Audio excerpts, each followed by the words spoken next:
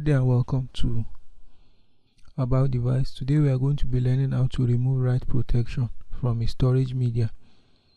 In here we are going to be using a usb drive as our storage media. So let's go to c.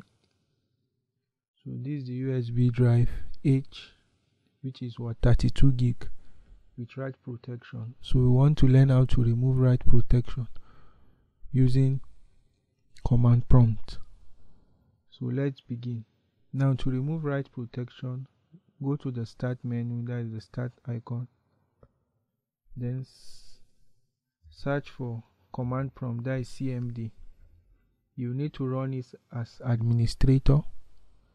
You run it as administrator.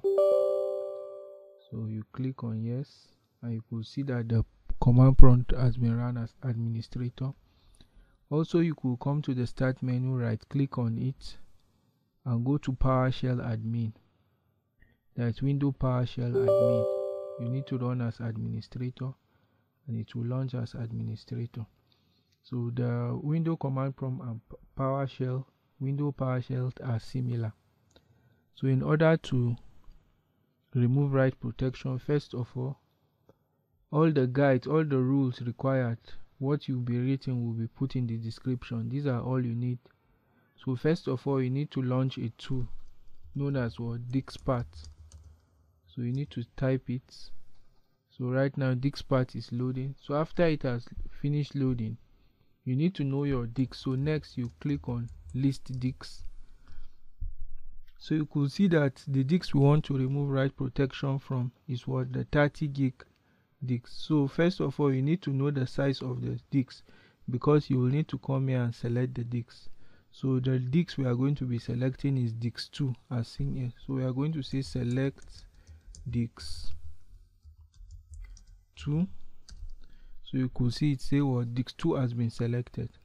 Now to remove um, read um, write protection, you need to type this into it. that is attribute Disk clear read only it will be placed in the description below. So attribute attribute disk clear read only. Attribute disk clear read only.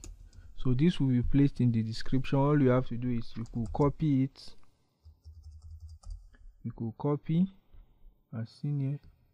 You could copy it and just come to the window PowerShell or the command prompt paste it then press enter and Im immediately the disk attributes will be cleared. Write protection will be removed on the disk. So once I go back to the disk and I open it, and if I want to copy a file, you could see that I can copy. Let's say I want to paste this on my desktop. You could see that write protection has been removed. So thanks for watching this tutorial. Hope you've learned how to remove write protection using command prompt or the window PowerShell. The window PowerShell and the Windows command prompt are similar. Thanks for watching this tutorial. Please like, share and subscribe to About Device. Thank you.